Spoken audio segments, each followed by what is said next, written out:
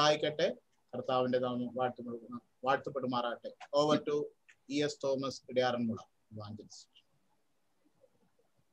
ദൈവ തിരുനാമത്തിന് മോഹമുണ്ടാകട്ടെ ഈ രാത്രിയിൽ വീണ്ടും നമ്മുടെ പഠന വിഷയമായിരുന്ന രക്ഷയുടെ ഭദ്രത എന്ന വിഷയം തുടരുവാൻ ദൈവം നമ്മെ സഹായിച്ചതിൽ ദൈവത്തിന് സ്തോത്രം ചെയ്യുന്നു. കഴിഞ്ഞ വ്യാഴാഴ്ച നാം പഠിച്ച് നിർത്തിയ ഭാഗത്തിന്റെ തുടർച്ചയായിട്ടുള്ള വേദഭാഗമാണ്. ഇന്ന് രാത്രിയിൽ നാം പഠിക്കുവാൻ ദൈവസനയിൽ ആഗ്രഹിക്കുന്നു. കഴിഞ്ഞ ആഴ്ച തുടക്കം കുറിച്ചത് എബ്രാലേഖനം പത്താം അധ്യായത്തിന്റെ ഇരുപത്തി ആറ് മുതൽ മുപ്പത്തി ഒന്ന് വരെയുള്ള വാക്കുകളായിരുന്നു അവിടെ നമ്മൾ വായിച്ച ഇങ്ങനെയാണ്. സത്യത്തിന്റെ പരിജ്ഞാനം ലഭിച്ച ശേഷം നാം മനഃപൂർവം പാപം ചെയ്താൽ പാപങ്ങൾക്ക് വേണ്ടി ഒരു യാഗവും ശേഷിക്കാതെ ന്യായവിധിക്കായി ഭയങ്കരമായ ഒരു പ്രതീക്ഷയും എതിരികളെ ദഹിപ്പിക്കാനുള്ള ക്രോധാഗ്നിയെ ഉള്ളൂ. ദൈവത്തിനെ ചവിട്ടിക്കളയുകയും തന്നെ വിശുദ്ധീകരിച്ച നിയമരക്തത്തെ മല്ലെന്ന് നിരൂപിക്കുകയും കൃപയുടെ ആത്മാവിനെ നിന്ദിക്കുകയും ചെയ്തവൻ എത്ര കഠിനമേറിയ ശിക്ഷയ്ക്ക് പാത്രമാകും എന്ന് വിചാരിപ്പിൻ പ്രതികാരം എനിക്കുള്ളത് ഞാൻ പകരം ചെയ്യും എന്നും കർത്താവ് തന്റെ ജനത്തെ ന്യായം വിധിക്കുമെന്നും അല്ലി ചെയ്തവനെ നാം അറിയുന്നുവല്ലോ.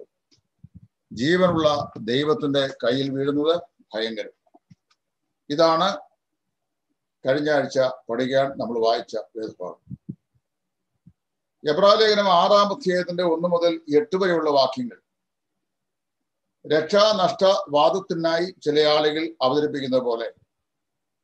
എബ്രാലേഖനം പത്താം അധ്യായത്തിന്റെ ഇരുപത്തി ആറ് മുതൽ മുപ്പത്തിയൊന്ന് വരെയുള്ള വാക്യങ്ങളും.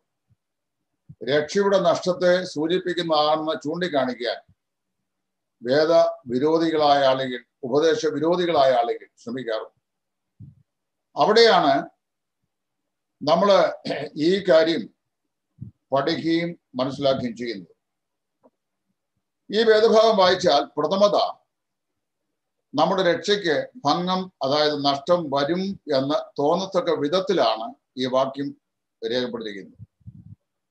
നിങ്ങൾ വായിച്ചു നോക്കിയാൽ മതി ലളിതമായി തന്നെ മനസ്സിലാക്കാൻ കഴിയും. സത്യത്തിന്റെ പരിജ്ഞാനം ലഭിച്ച ശേഷം നാം മനഃപൂർവം പാപം ചെയ്താൽ. പാപങ്ങൾക്ക് വേണ്ടി ഇനി ഒരു യാഗവും ശേഷിക്കാതെ ന്യായവിധിക്കായി ഭയങ്കരമായ ഒരു പ്രതീക്ഷയും എതിരികളെ ദഹിപ്പിക്കാനുള്ള ക്രോധാഗ്നിമേ ഉള്ളൂ. ഭയങ്കരമായ വാണിംഗ് ആണ് ഇബ്രാലേഖനത്തിലെ അഞ്ച് മുന്നറിയിപ്പുകൾ അഞ്ചാമത്തെ മുന്നറിയിപ്പ് എന്നിട്ട് പറയുകയാണ് ദൈവത്തിനെ ചവിട്ടിക്കളയുകയും തന്നെ വിശുദ്ധീകരിച്ച നിയമരക്തത്തെ മല്ലമെന്ന് നിരൂപിക്കുകയും കൃപയുടെ ആത്മാവിനെ നിന്ദിക്കുകയും ചെയ്തവൻ എത്ര കഠിനമേറിയ ശിക്ഷയ്ക്ക് പാത്രമാകും എന്ന് വിചാരിക്കും. അപ്പൊ ഇവിടെ പല ആൾക്കാർക്കും ഈ രക്ഷ നഷ്ടപ്പെട്ടു പോകും എന്ന് ഈ വാക്യത്തെ വ്യാഖ്യാനിക്കുന്നതിന് ഒരു കാരണമുണ്ട്. അവിടെ കാരണം എന്ന് പറയുന്ന ഒരു പദപ്രയോഗമാണ്.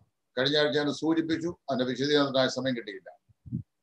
ആ പദപ്രയോഗം തന്നെ വിശുദ്ധീകരിച്ച നിയമരക്തം എന്നുള്ളതാണ്. ആ വാക്യം നിങ്ങൾ നോക്കി എന്റെ ശരിക്കും നോക്കി.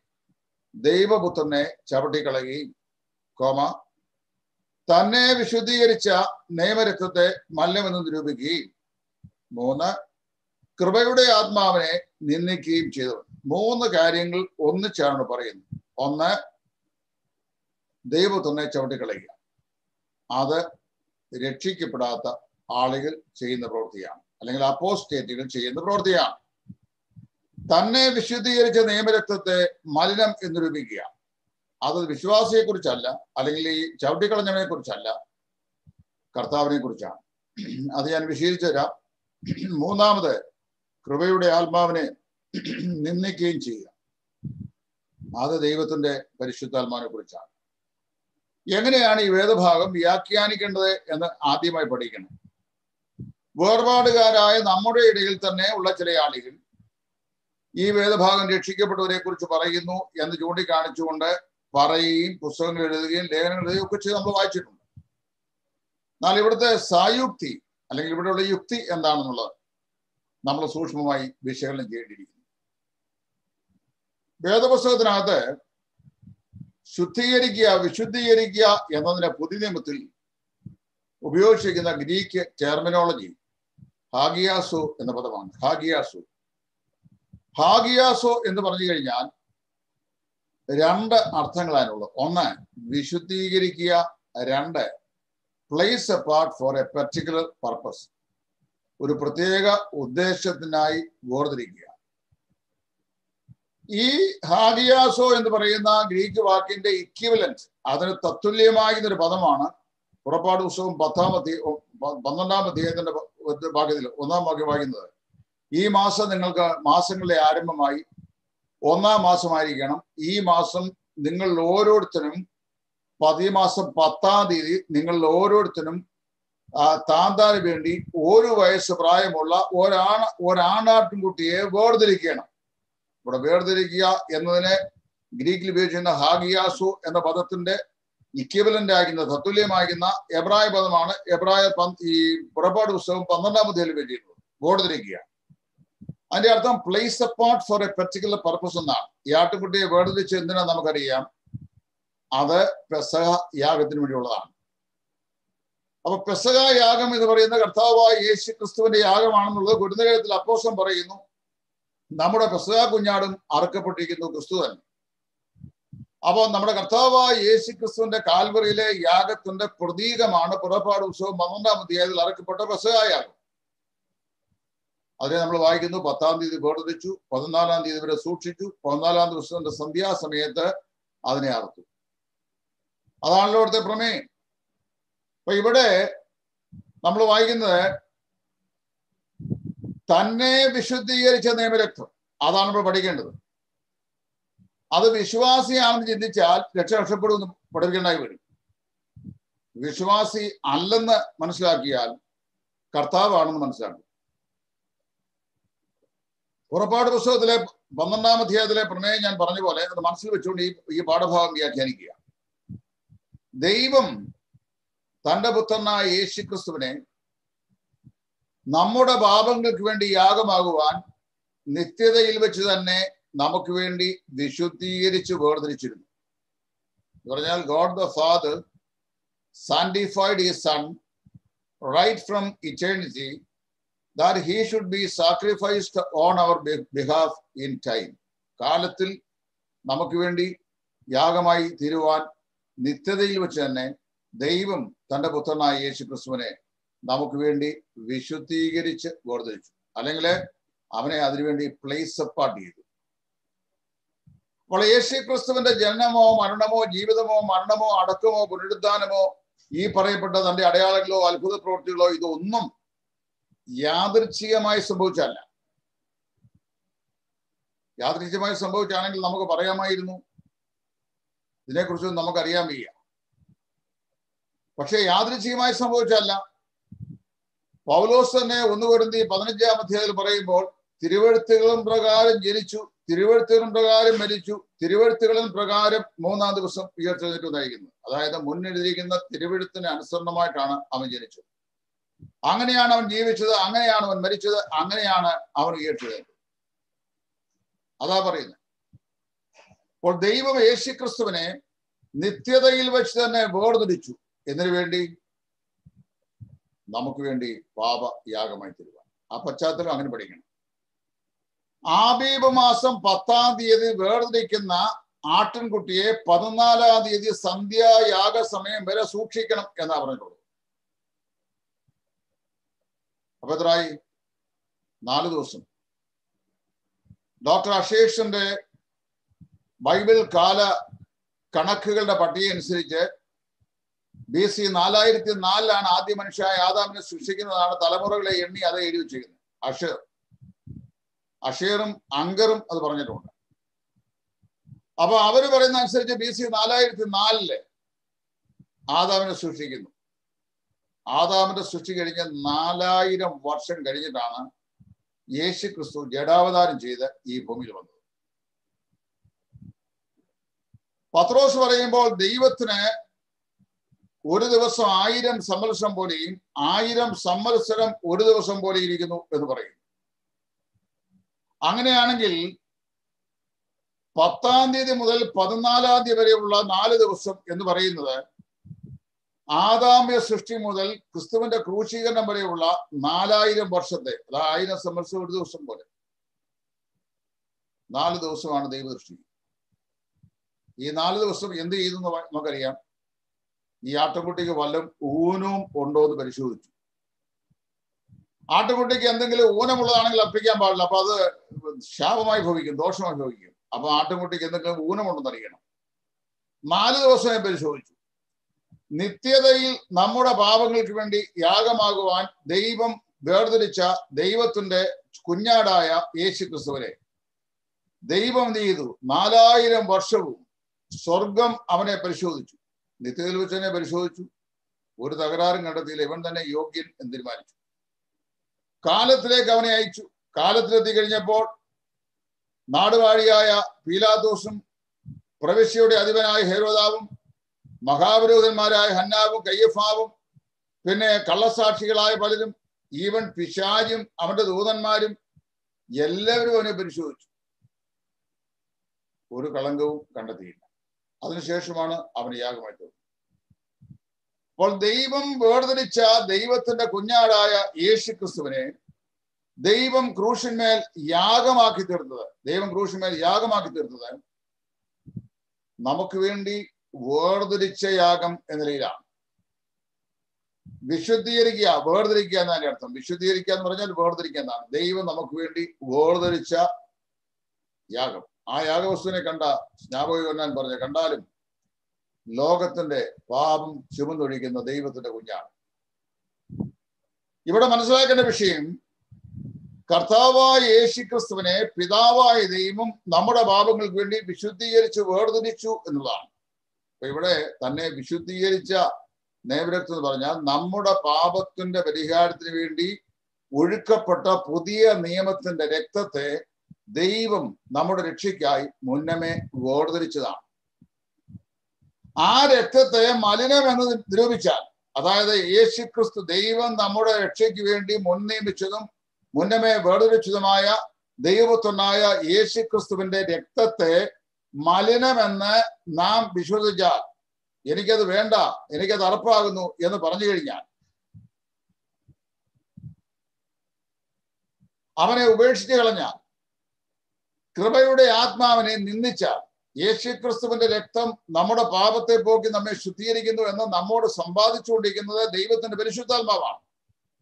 ഈ പരിശുദ്ധാത്മാവിനെ നിന്ദിച്ച എന്തോ സംഭവിക്കും? അവിടെ പറയാ കഠിനമേറിയ ശിക്ഷയ്ക്ക് പാത്രമാകും എന്ന് വിചാരിക്കും കാറ്റാക്രിമാണ് അതായത് ശിക്ഷാവധിയാണ്. രക്ഷിക്കപ്പെട്ട വിശ്വാസികൾക്ക് ക്രീമ അതായത് വിധിയേ ഉള്ളൂ. ന്യായവിധിയേ ഉള്ളൂ. ശിക്ഷാവധിയില്ല കാറ്റാക്രീമ ഇല്ല ദർ ഈസ് ഡിഫറൻസ് ബിറ്റ്വീൻ കാറ്റാക്രീമ ആൻഡ് ക്രീമ. ന്യായവതിയും ശിക്ഷാവതിയും തമ്മിൽ വ്യത്യാസമുണ്ട്. രക്ഷിക്കപ്പെട്ട വിശ്വാസികൾക്ക് ന്യായവതിയുണ്ട് രണ്ടു കൊരുതി അഞ്ചിന്റെ പത്ത്. നാം എല്ലാവരും ക്രിസ്തുവിന്റെ ന്യായാസന മുമ്പാകെ നിൽക്കേണ്ടതാകുന്നു. റോമർ പത്തിന്റെ പതിനാല്. ദൈവത്തിന്റെ ന്യായാസന മുമ്പാകെ നിൽക്കേണ്ടതാകുന്നു. എന്നാൽ രക്ഷിക്കപ്പെടാത്തവർക്ക് നാം വായിക്കുന്നത് കർത്താവിന്റെ ഈ ശിക്ഷാവധിയുടെ സിംഹാസനം അതായത് വെള്ള സിംഹാസനം മുമ്പാകെ നിൽക്കേണ്ടതാകും. അതാണ് ഇവിടെ പറയുന്നത്. നമ്മൾ അങ്ങനെ അതിനെ മനസ്സിലാക്കുമ്പോൾ അതായത് ഈ പാഠഭാഗത്തെ ആ നിലയിൽ അതായത് തന്നെ വിശദീകരിച്ച നിയമരക്തം എന്ന് പറയുന്നത് നമ്മെ വിശുദ്ധീകരിച്ച രക്തമെന്നല്ല നമ്മെ വിശദീകരിച്ച രക്തമാണെങ്കിൽ നമ്മൾ പാപം ചെയ്തു കഴിഞ്ഞാൽ നിത്യ നരകത്തിൽ പോകും പിന്നെ നമുക്ക് രക്ഷപ്പെടാൻ സാധിക്കുകയില്ല. ദൈവത്തിന്റെ ശിക്ഷാവിലേക്ക് തള്ളപ്പെടുമെന്നാണ് വ്യാഖ്യാനിക്കേണ്ടത്. തന്നെ വിശുദ്ധീകരിച്ച നിയമരക്തം ഇവിടെ പറയുന്നത് കർത്താവായ യേശുവിനെ നമ്മുടെ രക്ഷയ്ക്ക് വേണ്ടി വേർതിരിച്ച ദൈവത്തിന്റെ പുതിയ നിയമത്തിന്റെ രക്തം യഥാർത്ഥത്തിലാണ്. ദൈവം വേർതിരിച്ച പിതാവായ ദൈവം വേർതിരിച്ചതാണ്. ലോകസ്ഥാപനം മുമ്പേ നമുക്ക് വേണ്ടി വേർതിരിച്ചതാണ്. അതുകൊണ്ടാണ് അവനെ നിന്ദിച്ചാൽ കഠിനമേറിയ ശിക്ഷയ്ക്ക് പാത്രം ആകും എന്ന് പറയുന്നു ആ വാക്യം അവസാനിപ്പിക്കുന്നത് ജീവനുള്ള ദൈവത്തിന്റെ കയ്യിൽ വീഴുന്ന ഭയങ്കരം എന്ന് പറഞ്ഞാണ്. അപ്പൊ ജീവനുള്ള ദൈവത്തിന്റെ കയ്യിൽ ചെന്ന് നിബന്ധിക്കുന്നത് ഭയങ്കരം എന്ന് പറഞ്ഞിട്ടാണ് ഈ വാക്യവംശം ഇവിടെ പര്യവസാനിപ്പിക്കുന്നത്. അപ്പോൾ നമ്മൾ ഈ വാക്യം പഠിച്ചു കഴിഞ്ഞാൽ ഈ പാസേജ് പഠിച്ചു കഴിഞ്ഞാൽ one conclusion we come to നമ്മൾ വന്നെത്തുന്ന ഒരു കൺക്ലൂഷൻ ഉണ്ട്. എന്താണ്? ഈ ഭാഗം രക്ഷ വിഷയത്തെ കുറിച്ച് അല്ല പറയുന്നത്. രക്ഷിക്കപ്പെട്ടവർ രക്ഷാശത്തെ കുറിച്ച് അല്ല പറയുന്നത്. രക്ഷിക്കപ്പെടാത്തവരുടെ ശിക്ഷാവിയെ കുറിച്ചാണ് രക്ഷിക്കപ്പെട്ടവരുടെ രക്ഷാനഷ്ടമല്ല രക്ഷിക്കപ്പെടാത്തവരുടെ ശിക്ഷാവിധിയാണ് ഇവിടെ പറയുന്നത്.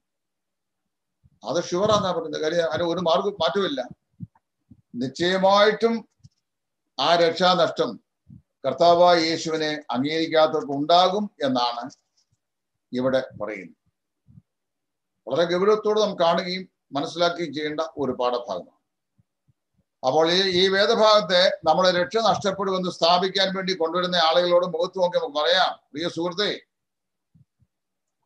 ഈ വേദഭാഗം രക്ഷാനഷ്ടത്തെ കുറിച്ചല്ല പറയുന്നത്.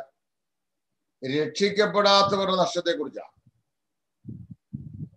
കഠിനമായ ശിക്ഷയ്ക്ക് അവർ പാത്രീഭവിക്കും എന്നാണ് ഈ വേദഭാഗം നമ്മോട് പറയുന്നത്. അത്രയും മാത്രം ഞാൻ അതേക്കുറിച്ച് ഞാൻ പറയുന്നുള്ളൂ. കാര്യം അത് കൂടുതൽ വിശീകരിക്കേണ്ട ആവശ്യം എനിക്ക് തോന്നുന്നില്ല. കാര്യം നിങ്ങൾക്ക് അത് മനസ്സിലായി കാണൂ എന്ന് ഞാൻ വിശ്വസിക്കുന്നു. ലളിതമായിട്ടാണ് പറഞ്ഞ അവിടെ ലളിതമായി നിങ്ങൾക്ക് അത് മനസ്സിലാകും.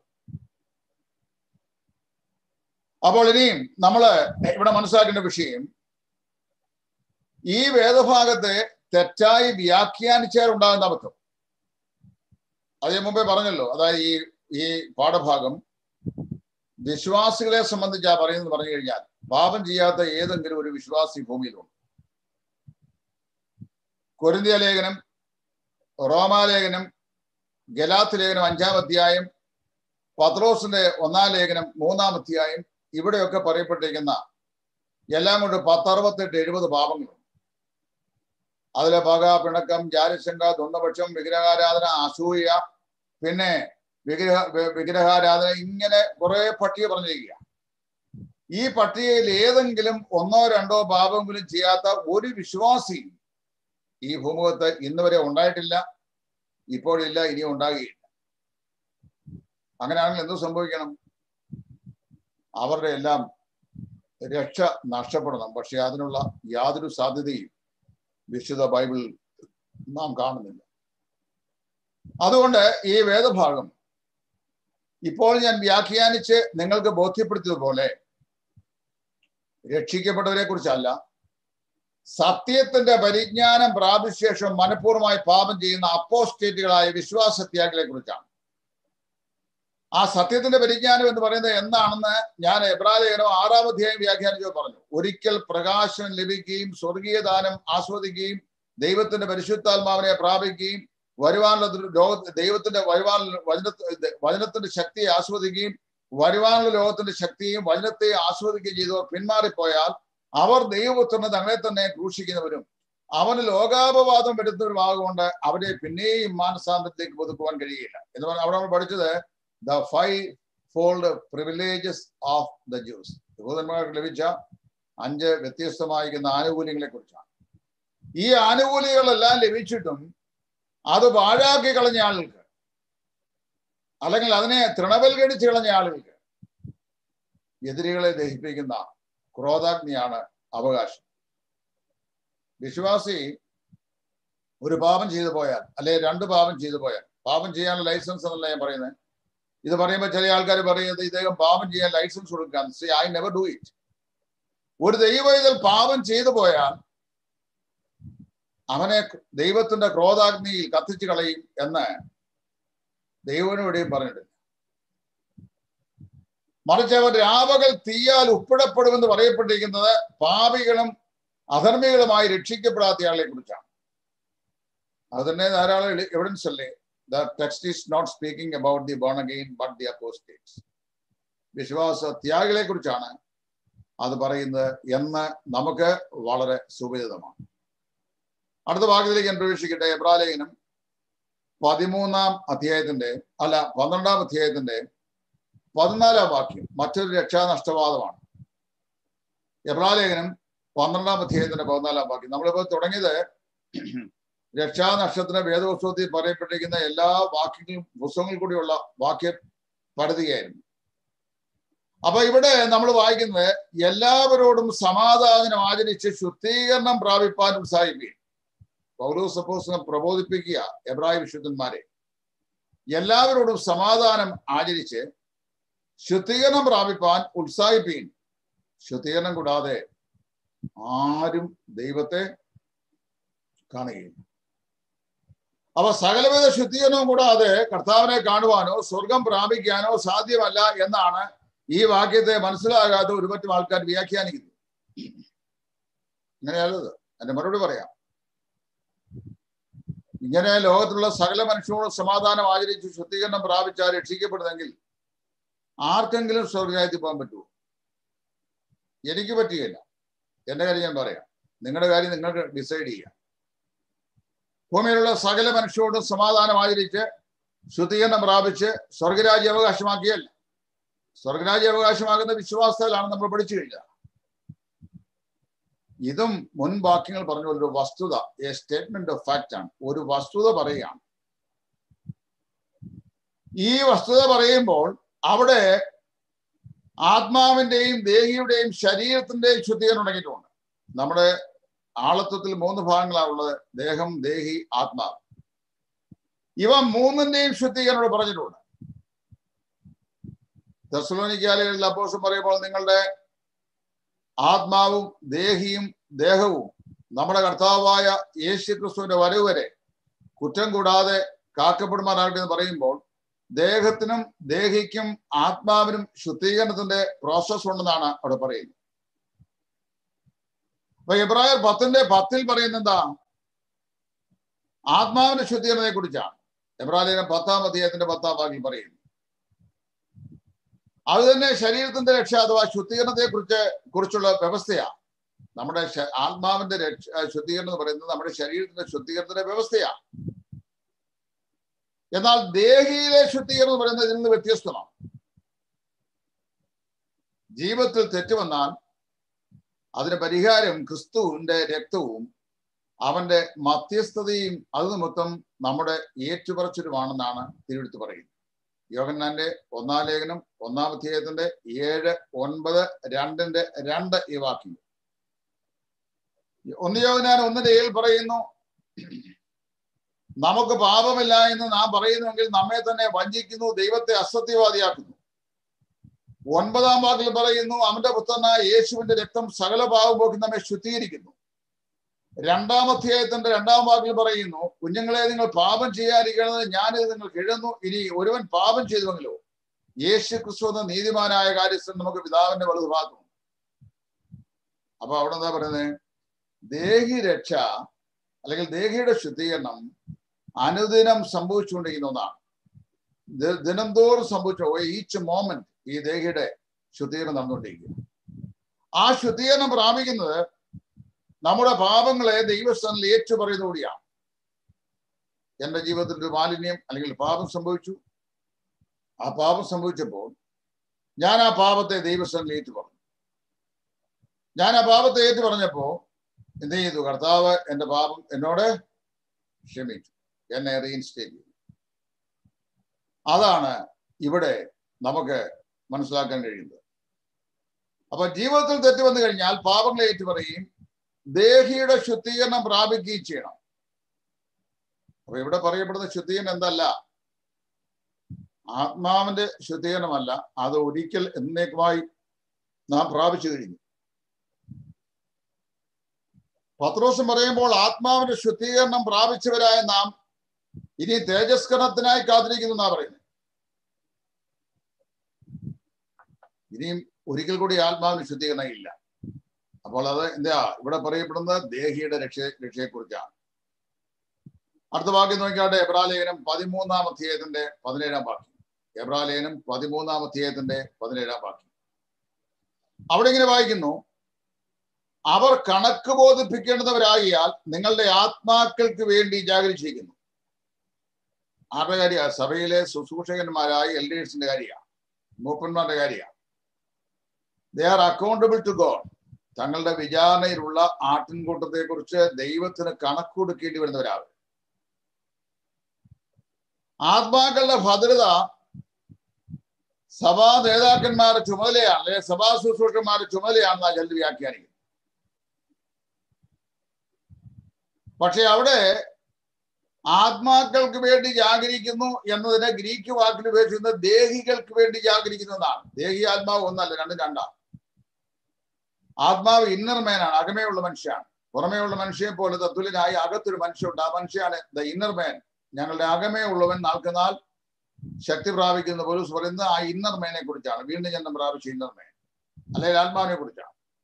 ദേഹി എന്ന് പറയുന്ന എനർജൈസിങ് ഏജന്റ് ആണ്. നമ്മെ ശക്തീകരിക്കുന്ന മാധ്യമമാണ്. ദേഹി ആത്മാവിനോട് ചേർന്ന് നിന്നാണ് പ്രവർത്തിക്കുന്നത്. അത് നമ്മൾ ഇവിടെ മനസ്സിലാക്കണം. അപ്പൊ ഇവിടെ ദേഹി എന്നാണ് അപ്പൊ ഈ ലേഖനത്തിന്റെ പൊതുവായ വിഷയം തന്നെ ജീവിതരക്ഷയാണ് അല്ല ആത്മരക്ഷയല്ല. ജീവിതരക്ഷ. അപ്പൊ അത് നമ്മുടെ മുമ്പ് ഞാൻ ദേഹിയുടെ രക്ഷയെ കുറിച്ച് പറഞ്ഞപ്പോൾ ആ വിഷയം പറഞ്ഞിട്ടുള്ളതാണ് ഇനി അത് ആവർത്തിച്ചാൽ ആവർത്തന വിരസത തോന്നും. അപ്പൊ ഇവിടെ പറയപ്പെടുന്ന രക്ഷ നമ്മുടെ ദേഹിയുടെ രക്ഷ അല്ലെങ്കിൽ ദൈനംദിന ജീവിതത്തിൽ അനുഭവിക്കുന്ന രക്ഷ. വി ആർ ബീങ് സേവ്ഡ് അല്ലെങ്കിൽ ബീങ് ബീങ് സാൻഡിഫൈഡ് എന്ന് പറയും. നമ്മൾ എന്ത് ചെയ്യുന്നു? ശുദ്ധീകരിക്കപ്പെട്ടുകൊണ്ട് ഇരിക്കുന്നു അല്ലെങ്കിൽ രക്ഷിക്കപ്പെട്ടുകൊണ്ട് ഇരിക്കുന്നു. ആ അർത്ഥത്തിലാണ് മനസ്സിലാക്കുന്നത് അടുത്ത വാക്യം യാക്കൂബിന്റെ ലേഖനം രണ്ടാം അധ്യായത്തിന്റെ പതിനാലാം വാക്യം. യാക്കോബിന്റെ ലേഖനം രണ്ടാം അധ്യായത്തിന്റെ പതിനാലാം വാക്യം. യാക്കോബിന്റെ ലേഖനം രണ്ടാം അധ്യായത്തിന്റെ പതിനാലാം വാക്യം വായിക്കുന്നു സഹോദരന്മാരെ ഒരുത്തൻ തനിക്ക് വിശ്വാസമുണ്ട് എന്ന് പറയുകയും പ്രവർത്തികൾ ഇല്ലാതിരിക്കുകയും ചെയ്താൽ ഉപകാരം എന്ത്? Somebody says i have faith but he has no work. അങ്ങനെയാണല്ലോ what profit that faith has എന്നാ ചോദിക്കുന്നത് എന്ത് പ്രയോജനമായി ഈ ഫെയ്ത്തിനുള്ളത്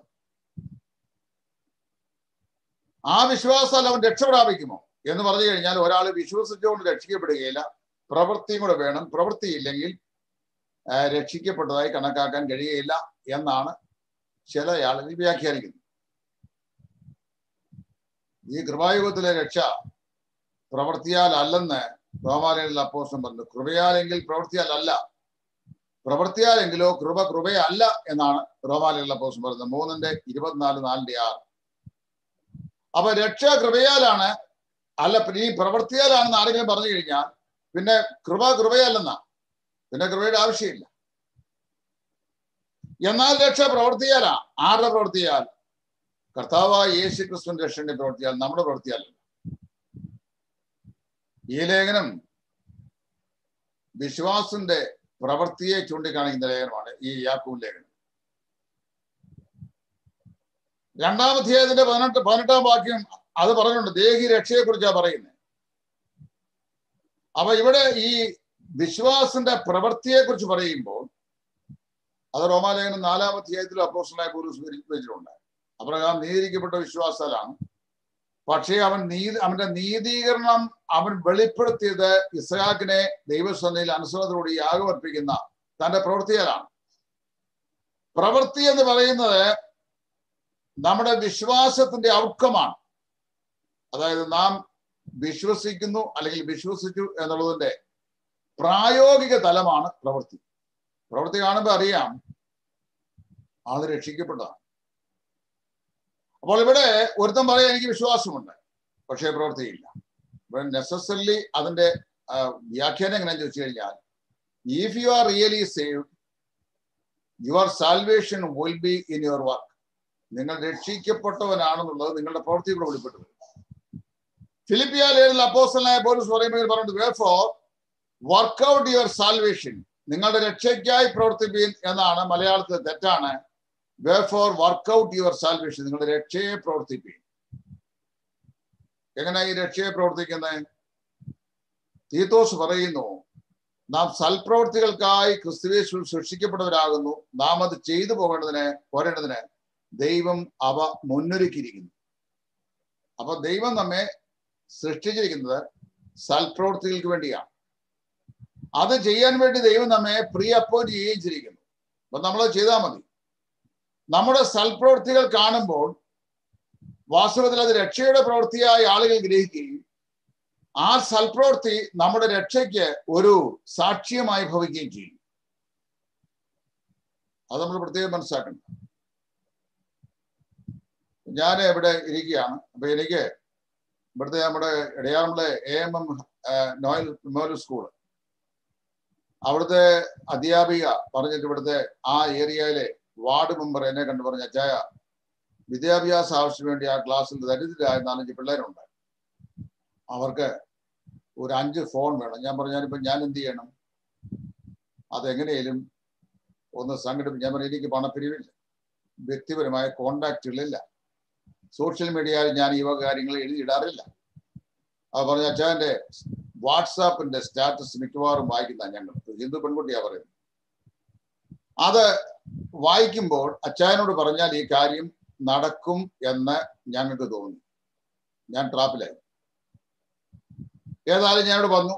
ഞാൻ ഇതിനകത്ത് എഴുതിയിട്ടു. നമ്മുടെ സ്കൂളിലേക്ക് ഒരു അഞ്ച് വിദ്യാർത്ഥികൾ നിർധന വിദ്യാർത്ഥികൾക്ക് അഞ്ച് ഫോൺ വേണം. മനസ്സുള്ളവർ ആരെങ്കിലും ഉണ്ടെങ്കിൽ സഹായിച്ച് അത് വാങ്ങിച്ചു കൊടുത്തേക്കാന്ന് അപ്പൊ മനസ്സുള്ള അഞ്ച് സഹോദരന്മാരെ സ്പോൺസർ ചെയ്തു. ഞാനത് വാങ്ങി എന്റെ ബില്ല് ഉൾപ്പെടെ പരസ്യമായി കൊണ്ട് കൊടുത്തു. അത് ഇവിടെ പോസ്റ്റ് ചെയ്തിട്ടുണ്ട് പോസ്റ്റ് ചെയ്തതിനെയൊക്കെ ചില ആൾക്കാർ വിമർശിക്കുന്നതിനാണ് ഞാൻ പറഞ്ഞു പരസ്യമായി ചോദിച്ചുകൊണ്ടാണ് പരസ്യമായി ഇട്ടത് അല്ലെ ഇടുകയില്ല. രഹസ്യമായി തരികയായിരുന്നെങ്കിൽ രഹസ്യമായി കൊടുത്തേക്കും ഉണ്ടായിരുന്നില്ല. അപ്പൊ പരസ്യമായി ഞാൻ ചോദിച്ചു പരസ്യമായി തന്നു പരസ്യമായി കൊടുത്തു. അപ്പൊ ഇവിടെ ഞാൻ പറഞ്ഞു എന്നാ ചോദിച്ചു കഴിഞ്ഞാൽ ഇപ്പൊ നമ്മളോട് ഇങ്ങനെ ഒരു ആവശ്യം പറയും ആവശ്യത്തിനോട് പ്രാർത്ഥിക്കാം എന്ന് സാധാരണ നമ്മുടെ ശൈലി പറയുകയും ചെയ്താൽ ആ പ്രാർത്ഥന കൊണ്ട് ഒരു പ്രയോജനമില്ലെന്ന് അതിന്റെ അർത്ഥം. അങ്ങനെ ഒരുപാട് ആളുകൾ നമ്മളൊക്കെ സാധാരണ പറയണം ഇവിടെ പ്രാർത്ഥിക്കാം കേട്ടോ. കഴിഞ്ഞ ആഴ്ച ഒരാളോട് ചോദിച്ചു എങ്ങനെയുണ്ട് ഈ കോവിഡ് കാലത്ത്? ഞാൻ പറഞ്ഞു കൃപയാൽ നടക്കുന്നു. ആ പ്രത്യേകം പ്രാർത്ഥിക്കുന്നുണ്ട് കേട്ടോ പ്രാർത്ഥിക്കാം. ഇതൊരു ശൈലിയാ പ്രാർത്ഥിക്കുക. പ്രാർത്ഥിക്കുക എന്ന് പറയുന്നത് അല്ലെങ്കിൽ വിശ്വസിക്കുക എന്ന് പറയുന്നത് നമ്മുടെ പ്രവൃത്തിയുടെ വെളിപ്പെടണം. എല്ലാ തലങ്ങളിലും എല്ലാവർക്കും എല്ലാ നിലയിലും നമുക്ക് ഉപയോഗപ്പെടാൻ ചിലപ്പോൾ കഴിഞ്ഞു വരികയില്ല. എന്നാൽ നമ്മൾ രക്ഷിക്കപ്പെട്ട ഒരു ദൈവ ഇതിലാണ് എന്നുള്ള തെളിവ് നമുക്ക് ലഭിക്കുന്ന നമ്മൾ നാം കാണിക്കുന്ന വിശ്വാസത്തിന്റെ പ്രവൃത്തിയാണ്. അത് തെളിയിക്കാനാ റോമർ നാലിൽ അബ്രഹാമിനോട് ദൈവം പറഞ്ഞു നിന്റെ മകനെ കൊണ്ട് യാഗം കഴിക്കണം? അവൻ ഇസ്ഹാഖിനെ യാഗം കഴിച്ചു. എന്ന് പറഞ്ഞാൽ ഇസ്ഹാഖിനെ യാഗം കഴിക്കാൻ വേണ്ടി യാഗപീഠം ഉണ്ടാക്കി വിറകുണ്ടാക്കി തീ ഉണ്ടാക്കി ആ യാഗപീഠത്തിന്മേൽ അവനെ കെട്ടി അവനെ അതിന്മേൽ വെച്ചു. അറക്കാൻ തുടങ്ങി. ദൈവം തടഞ്ഞു. അവിടെയാണ് അബ്രഹാമിന്റെ വിശ്വാസം പൂർത്തീകരിക്കപ്പെടുന്നത് അല്ലെങ്കിൽ പൂർണമായി തീരുന്നത്. പ്രവർത്തിക്കായി അവൻ തയ്യാറായി. ഈ വിശ്വാസം വളരെ ശ്രേഷ്ഠമായ ഒന്നായിട്ട് നമുക്ക് മനസ്സിലാക്കുവാൻ സാധിക്കും. അപ്പൊ അങ്ങനെ വരുമ്പോൾ ഇവിടെ നമ്മൾ ഗ്രഹിക്കേണ്ട വിഷയം ഏറ്റവും പ്രധാനമായി മനസ്സിലാക്കേണ്ട വിഷയം വിശ്വാസം എന്ന് പറയുന്നത് പ്രവൃത്തിയോടെ വെളിപ്പെടുമെന്നാണ് ഈ യാക്കു പറയുന്നതല്ല പ്രവൃത്തിയാൽ രക്ഷ ഉണ്ടാകുന്നതല്ല പല വേദഭാഗങ്ങളും പറയുന്നതിന് വിപരീതമായിട്ട് ആളുകൾ മനസ്സിലാക്കുന്നു. പ്രവൃത്തിയാൽ രക്ഷിക്കപ്പെടുന്നതല്ല രക്ഷിക്കപ്പെട്ടവന്റെ രക്ഷ പ്രവൃത്തിയിലൂടെ വെളിപ്പെടും എന്നാണ് അവിടെ പറയുന്നത്. എല്ലാവർക്കും മനസ്സിലായി എന്ന് വിശ്വസിക്കുന്നു.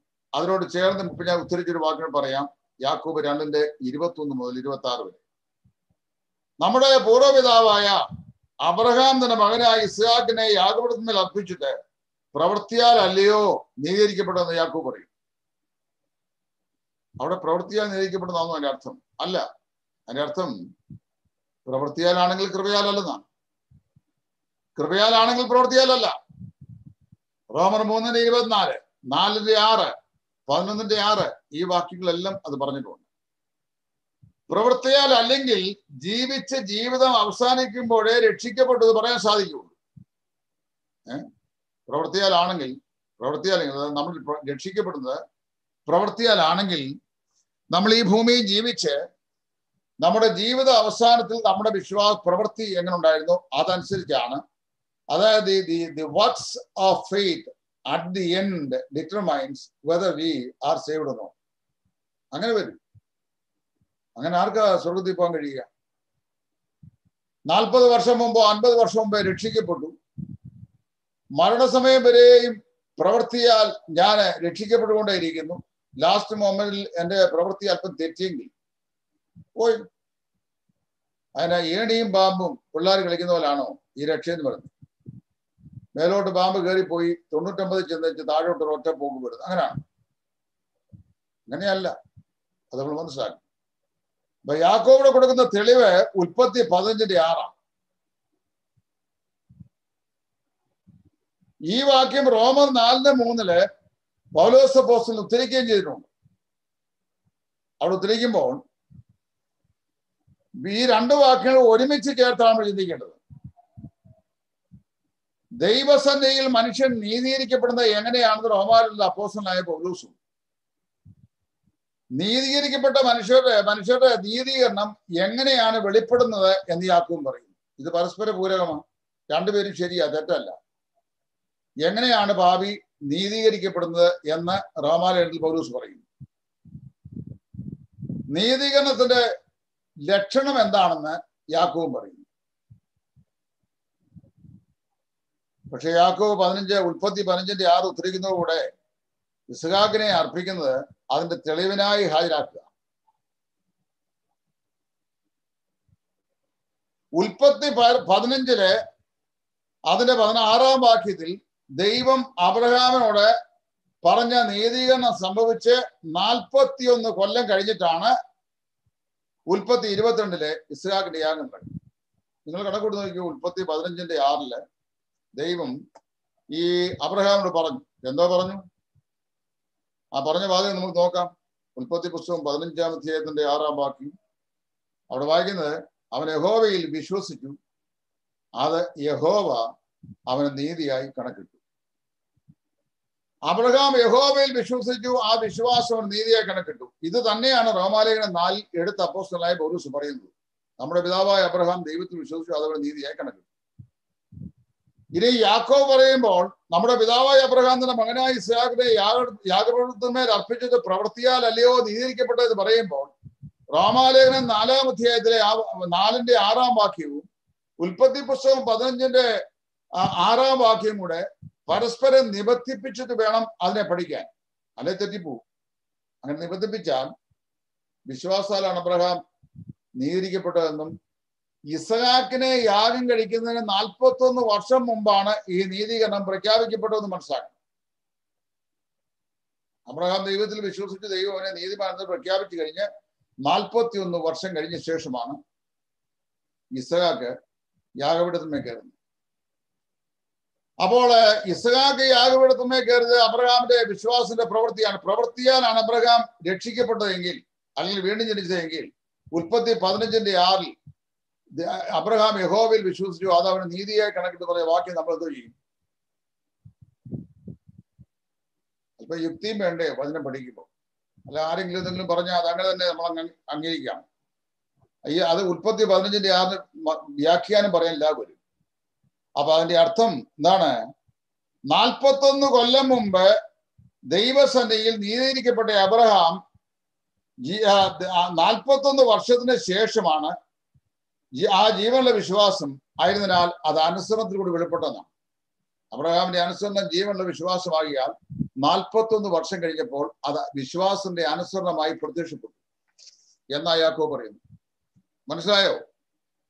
ഞാൻ ഒന്നുകൂടെ പറയാം. ഉൽപ്പത്തി പതിനഞ്ചിന്റെ ആറിൽ അബ്രഹാം യഹോവയിൽ വിശ്വസിച്ചു. അതുകൊണ്ട് നീതിയായി കണക്കിട്ടുവെന്ന് മോശ എഴുതി വെച്ചിരിക്കുന്നു. എന്നാൽ യാക്കോ പറയുന്ന പ്രവൃത്തിയാലുള്ള നീതീകരണത്താലാണ് അബ്രഹാം നീതിക്കപ്പെട്ടത് എങ്കിൽ ഉൽപ്പത്തി പതിനഞ്ചിന്റെ ആറിൽ പറയപ്പെട്ടിരിക്കുന്ന നീതീകരണം സംബന്ധിച്ച് സംഭവിച്ച് നാൽപ്പത്തിയൊന്ന് വർഷങ്ങൾക്ക് ശേഷമാണ് ഇസഹാഖിനെ അബ്രഹാം യാൻ കഴിക്കുന്നത്. അപ്പോൾ അങ്ങനെ വന്നാൽ ഉൽപ്പത്തി പതിനഞ്ചിൽ അവൻ നീതിക്കപ്പെട്ടില്ല എന്ന് വരും. പക്ഷെ നീതിക്കപ്പെട്ടു എന്ന് ദൈവമാണ് പറയുന്നത്. നീതിക്കപ്പെട്ടില്ല ഇല്ല എന്ന് നാം പറഞ്ഞാൽ നാം ദൈവത്തിന് വിരോധമായി ഭോഷ്ക്ക് പറയുന്നത് അല്ല എങ്കിൽ ഇവിടെ നമ്മൾ വായിക്കുന്നത് ദൈവത്തിന്റെ വചനം പറയുകയാണ് നാൽപ്പത്തൊന്ന് വർഷത്തിന് ശേഷം വിശ്വാസന്റെ അനുസരണമായി അത് പ്രകടമായി കഴിഞ്ഞപ്പോൾ എന്ത് ചെയ്തു? പ്രവൃത്തിയാൽ ആ വിശ്വാസം വെളിപ്പെട്ടു. ഉള്ളൂ വ്യത്യാസം മറ്റു കാര്യമൊന്നും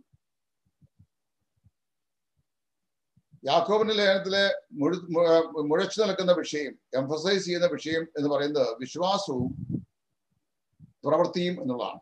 വിശ്വാസിയും ഫെയ്ത്ത് ആൻഡ് വർക്ക് അതാണ് യാക്കോബ് ലേഖനത്തിലെ പ്രധാനപ്പെട്ട വിഷയം.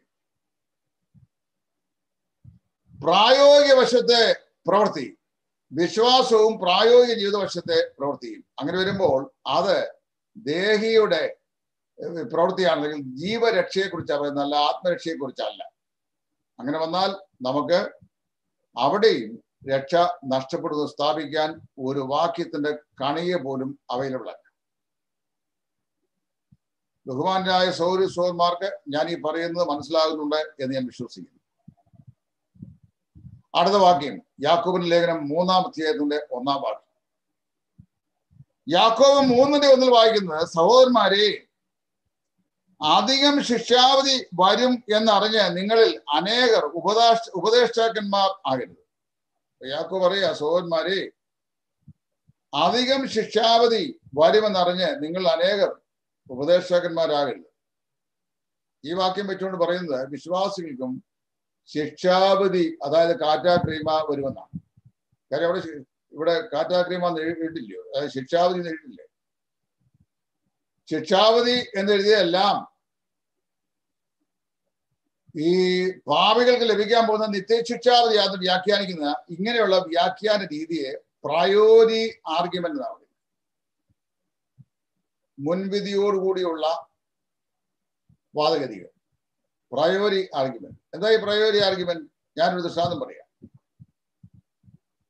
റോക്ക് ഇസ് ഹാർഡ് ഞാൻ പറയാം റോക്ക് ഇസ് ഹാർഡ് പാറ കടുപ്പമുള്ളതാണ്.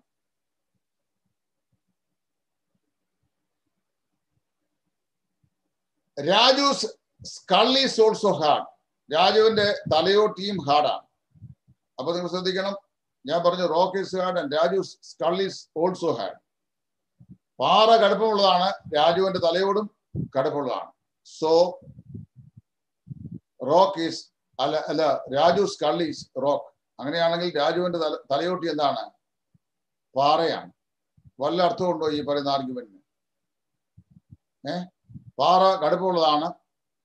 ഓ മനുഷ്യന്റെ തലയോട്ടിയും കടുപ്പുള്ളതാണ് അതുകൊണ്ട് മനുഷ്യന്റെ തലയോട്ടിയും സമം പാറ.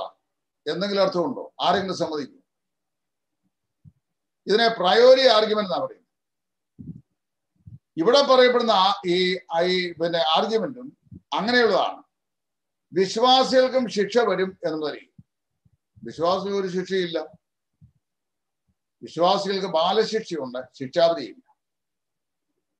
ബാലശിക്ഷയും ശിക്ഷാവധിയും രണ്ടാണ് ബാലശിക്ഷ എന്ന് പറഞ്ഞു കഴിഞ്ഞാൽ രക്ഷിക്കപ്പെട്ട ഒരു ദൈവവേദൽ അറിഞ്ഞോ അറിയാതെയോ തന്റെ ജീവിതത്തിൽ ഒരു തെറ്റ് സംഭവിക്കുകയും അല്ലെങ്കിൽ പാപം ചെയ്യുകയും ആ പാപത്തെക്കുറിച്ച് വചനത്തിലൂടെ പരിശുദ്ധാത്മാവ് നിരന്തരം അവനെ ബോധ്യപ്പെടുത്തിയിട്ടും അവൻ യാതൊരു കുലുക്കവുമില്ലാതെ ആ പാപം ഏറ്റുപറഞ്ഞ് ഉപേക്ഷിച്ച് ദൈവസ്ഥലം യഥാസ്ഥാനപ്പെടാൻ മനസ്സില്ലാതെ അനങ്ങാമ്പാറ പോലെ ഇരിക്കുകയും ചെയ്തു കഴിഞ്ഞാൽ ദൈവം ആ പാപ നിമിത്തം അവനെ ബാലശിക്ഷ കഴിയും. അത് എബ്രാ ഈ എബ്രാലേഖനം പന്ത്രണ്ടാം അധ്യായത്തിന്റെ ആറാം വാക്യത്തിൽ പറഞ്ഞിട്ടുണ്ട്. അപ്പൻ താൻ സ്നേഹിക്കുന്ന ഏത് മകനെയും ശിക്ഷിക്കുന്നു? അവിടെ ബാലശിക്ഷയാണ്. ഒന്ന് കരുതി പതിനൊന്നാം അധ്യായത്തിൽ ഇത് നിമിത്തം ചില അനേ ചിലർ രോഗികളായി തീരുന്നു അനേകർ നിദ്ര കൊള്ളുന്നു ബാലശിക്ഷയാണ്. അവിടെയൊന്നും ശിക്ഷാവധിയില്ല ബാബിലോൺ ശിക്ഷയില്ല. അപ്പൊ ബാലശിക്ഷയും ബാബിലോൺ ശിക്ഷയും വ്യത്യാസപ്പെട്ടിരിക്കുന്നു. അത് മനസ്സിലാക്കണം. അതുകൊണ്ട് ഇവിടെ പറയപ്പെടുന്ന വിശദീകരണം ശിക്ഷാവധിയെ കുറിച്ചല്ല ബാലശിക്ഷയെ കുറിച്ചാണെന്ന് നിസ്തർക്കം നമുക്ക് പറയാൻ സാധിക്കും. ഇനി നമുക്ക് അഞ്ചു മിനിറ്റ് ഉള്ളൂ. ഈ അഞ്ചു മിനിറ്റ് സമയത്ത് ഒരു വാക്കും കൂടെ പറയാം. അത്രേ പറ്റുള്ളൂ. ബാക്കി അടുത്ത ആഴ്ച ചിന്തിക്കാം. യാക്കോബിന്റെ ലേഖനം അഞ്ചാം അധ്യായം പത്തൊൻപത് ഇരുപത് വാക്യങ്ങൾ. യാക്കോബ് അഞ്ചിന്റെ പത്തൊൻപത് ഇരുപത് വാക്യങ്ങൾ. സഹോദരന്മാരെ നിങ്ങൾ ഒരുവൻ സത്യം വിട്ട് തെറ്റിപ്പോവുകയും സഹോദരന്മാരെ പറഞ്ഞു നിങ്ങൾ ഒരുവൻ സത്യം വിട്ട് തെറ്റിപ്പോവുകയും അവനെ ഒരുത്തൻ തിരിച്ചു വരുത്തുകയും ചെയ്താൽ പാപിയെ നേർവഴിക്ക് ആക്കുന്നവൻ അവന്റെ പ്രാണനെ മരണത്തിൽ നിന്ന് രക്ഷിക്കുന്നു. പാപങ്ങളുടെ ബഹുത്വം മറക്കുകയും ചെയ്യും എന്ന് അവൻ അറിഞ്ഞുകൊട്ടെ നിങ്ങൾക്ക് ഈ വാക്യം മനസ്സിലായി കാണുന്നതിൽ വിശ്വസിക്കുന്നു. എല്ലാവർക്കും മനസ്സിലാതെ മലയാളത്തിൽ എഴുതിയിരിക്കുന്നത് സഹോദരന്മാരെ നിങ്ങൾ ഒരുവൻ സത്യം വിട്ടു തെറ്റിപ്പോവുകയും അവനെ ഒരുവൻ തിരിച്ചു വരുത്തുകയും ചെയ്താൽ പാപിയെ നേർവഴിക്കാക്കുന്നവൻ അവന്റെ പ്രാണനെ മരണത്തിൽ നിന്ന് രക്ഷിക്കുകയും പാപങ്ങളുടെ ബഹുത്വം മറയ്ക്കുകയും ചെയ്യുന്നു എന്ന് അവൻ അറിഞ്ഞുകൊണ്ട് ഇവിടെ പറഞ്ഞവനെ മരണത്തിൽ നിന്ന് വിടുവിക്കുന്നു. ആരാ? യഥാസ്ഥാനപ്പെടുത്തുന്നവൻ ഇവനെ മരണത്തിൽ നിന്ന് വിടുവിക്കും. അപ്പൊ മരണത്തിൽ നിന്ന് വിടുവിക്കും പാപി എന്നീ രണ്ട് വാക്കുകളാണ് രക്ഷ നഷ്ടപ്പെടുന്നുണ്ട് കാര്യം പാപിയെ നേർവഴിക്ക് ആക്കുന്നവൻ. അപ്പൊ ഗുണപ്പെട്ടവനല്ലെന്ന വ്യാഖ്യാനിക്കുന്ന ഒന്ന്. രണ്ട് അവൻ എന്ത് ചെയ്യുന്നു? മരണത്തിൽ നിന്ന് വിടുവിക്കും. പാപത്തിന്റെ ശമ്പളം അല്ലേ മരണം? പക്ഷേ ഈ വാക്യം ഞാൻ ഇന്ന് പരിശോധിച്ചു. ഇന്നല്ല ഇതിനു മുമ്പും പരിശോധിച്ചിട്ടുണ്ട് ഇന്ന് അല്പം കൂടി പരിശോധിച്ചു. വാക്യം പരിശോധിച്ചപ്പോൾ ഗ്രീക്ക് ടെക്സ്റ്റിൽ രണ്ട് വിധത്തിൽ ഇത് കാണുന്നുണ്ട്.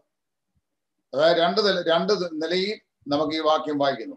ഒന്ന് ഇതുപോലെ തന്നെ ഇവിടെ വായിച്ച പോലെ തന്നെ. അതായത് ഒരുത്തൻ സത്യം വിട്ട് തെറ്റിപ്പോവുകയും അവനെ ഒരുവൻ തിരിച്ചു വരുത്തുകയും ചെയ്താൽ പാപിയെ നേർവഴിക്കാക്കുന്നവൻ അവന്റെ പ്രാണനെ മരണത്തിൽ രക്ഷിക്കുന്നു. അങ്ങനെയാണ് ഒന്ന്.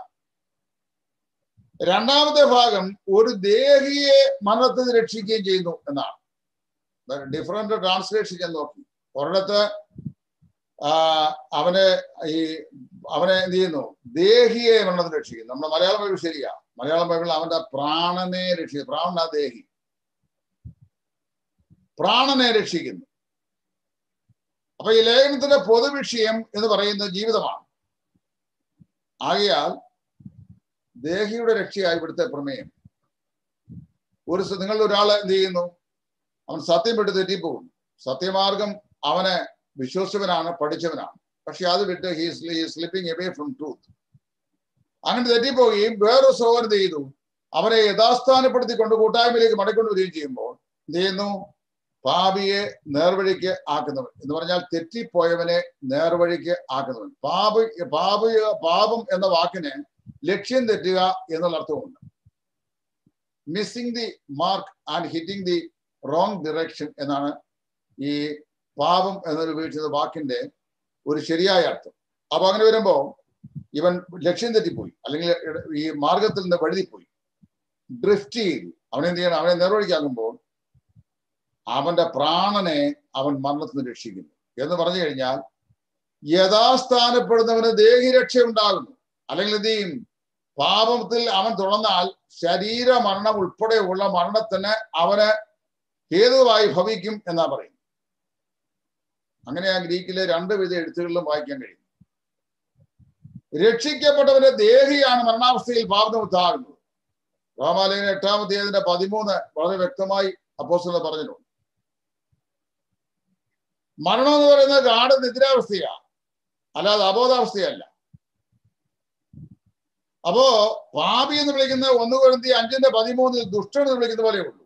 കുരുന്തി ഒന്ന് കുരന്തി അഞ്ചാം അധ്യായത്തിന്റെ പതിമൂന്നാം വാക്യത്തിൽ ഒരു കൃപാവരനും കുറവില്ലാതെ കർത്താവായ യേശു ക്രിസ്തുവിന്റെ പ്രത്യക്ഷതയെ കാത്തിരിക്കുന്ന കുരുന്തിലെ വിശ്വാസത്തിന്റെ കൂടുതൽ അപ്പന്റെ ഭാര്യയെ വെച്ചുകൊണ്ടിരിക്കുന്നവനും ഉണ്ട്.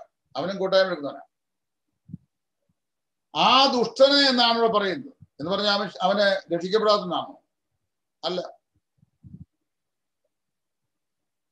അതേ പ്രയോഗമാണ് ഇവിടെ പാപിയെ എന്ന് ഉപയോഗിച്ചിരിക്കുന്നത് അല്ലാതെ രക്ഷിക്കപ്പെടാത്ത ആളിനെ കുറിച്ചല്ല. അപ്പൊ ദേഹി രക്ഷയാണ് ഇവിടുത്തെ പ്രമേയമെന്ന് നമ്മൾ മനസ്സിലാക്കിയാൽ ഈ പാഠഭാഗത്തെ കുറിച്ചുള്ള സംശയം എന്നേക്കുമായി അവസാനിക്കും. അത് രക്ഷാനഷ്ടമല്ല മറിച്ച് അത് ദേഹിയുടെ മരണം അല്ലെങ്കിൽ ദേഹിയുടെ നഷ്ടം. അത് സംഭവിക്കുക ഏത് വിശ്വാസിക്കും? സത്യമാർഗം പറഞ്ഞ ശേഷം അവൻ വഴുതിപ്പോയാൽ പിന്നീട് അവൻ യഥാസ്ഥാനപ്പെടാതെ കഴിഞ്ഞാൽ ദൈവം നൽകുന്ന ബാലശിക്ഷയുടെ ഭാഗമായി മരണം വരെ ശരീരമരണം വരെ അവന് സംഭവിക്കുകയും അവന് ദേഹിരക്ഷ നഷ്ടപ്പെട്ടു പോവുകയും ചെയ്യും. ആത്മരക്ഷ അപ്പോഴും സുരക്ഷിതമാണെന്നാണ് വേദപുസ്തകം പഠിപ്പിക്കുന്നു. അപ്പൊ ഈ വാക്യങ്ങൾ ഒന്നും തന്നെ രക്ഷ നഷ്ടഭാഗത്തെ സാധൂകരിക്കുന്നില്ല എന്നുള്ള യാഥാർത്ഥ്യം ഒരിക്കൽ കൂടി പ്രസ്താവിച്ചുകൊണ്ട് കർത്താവിന് വെച്ചാൽ ബാക്കി. അടുത്ത ആഴ്ച ചിന്തിക്കാം എന്നുള്ള പ്രത്യാശയും